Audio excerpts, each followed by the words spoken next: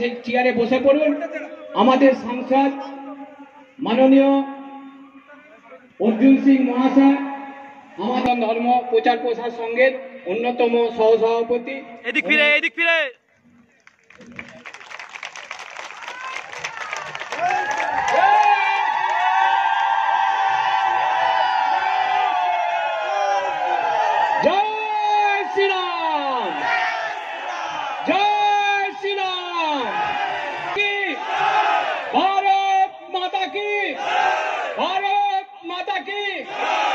আমাদের মধ্যে যথেষ্ট সম্মান করেন চাই উনি আজকে আমার ধর্মীয় অনুষ্ঠান না হিন্দু ধর্মে অনুষ্ঠান আসতে কীরকম লাগবে? ভালো লাগছে?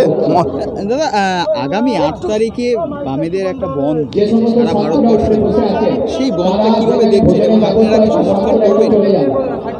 দেখুন বনকে যারা বামপন্থী সংগঠন আছে তারা সবসময় ভারতবর্ষকে বন্ধ করতেই চায়।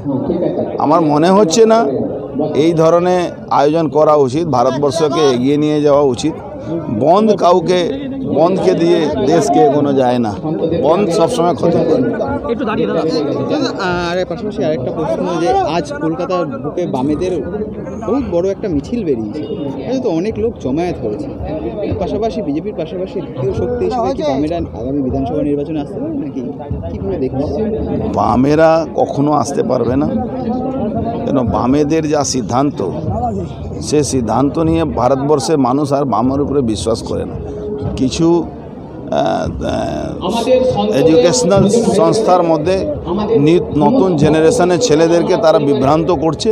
তারা সঠিক সময়ে তারা যখন বুঝতে পারবে তখন এই বামপন্থী সংগঠন থেকে বেরিয়ে আসবে। শেষ প্রশ্ন ভাটপাড়া পৌরসভায় অনাস্থা আনা হয়েছে।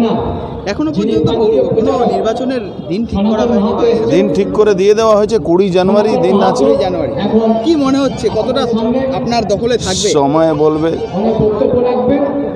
ভারতীয় জনতা পার্টির কাছে আছে থাকবে। কতটা আত্মবিশ্বাসী? আত্মবিশ্বাসী বলে কিছু আমি মনে করি না। আমি জানি যেটা আছে সেটা থাকবে আমাদের হাতেই থাকবে। ধন্যবাদ।